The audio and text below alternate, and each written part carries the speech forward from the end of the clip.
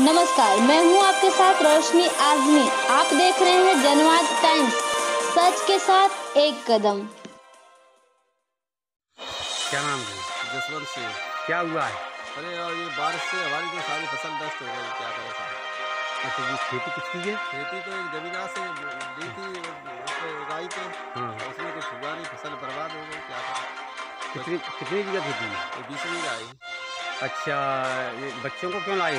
बच्चों को तो इसलिए लाए कि इनकी शादी करनी है और कर्जा लेकर के खेत बटाई के लिए था उसमें उगाई पे लेकर हमारी सारी फ़सल चौपट हो गई और शादी के लिए इंतज़ाम नहीं क्या करें किसान गवर्नमेंट से क्या चाहते हो गवर्नमेंट अगर हमें सहायता दे दे तो ये है कि हमारी जान बची जाएगी क्योंकि गरीब आदमी है यहाँ से भरपाई कितनी कर पाएगा शादी के लिए?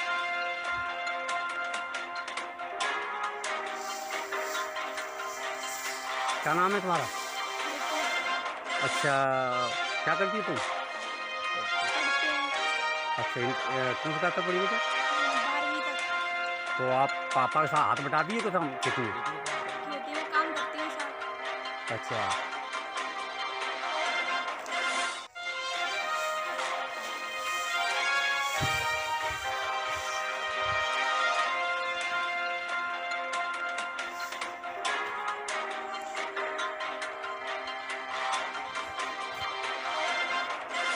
ये आलू किसके हैं? आलू साहब हमारे है कितने बीघा है आठ बीघा है।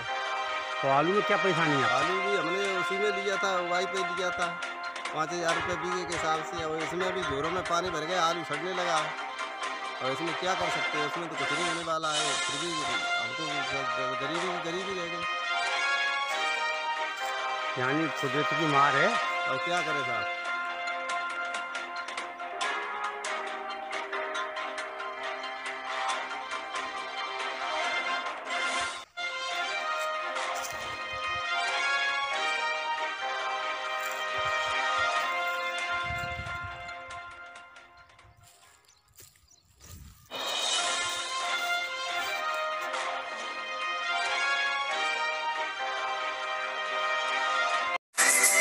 जनवाद टाइम्स की सभी खबरों को लगातार देखने के लिए चैनल को लाइक, सब्सक्राइब और शेयर ज़रूर करें। धन्यवाद।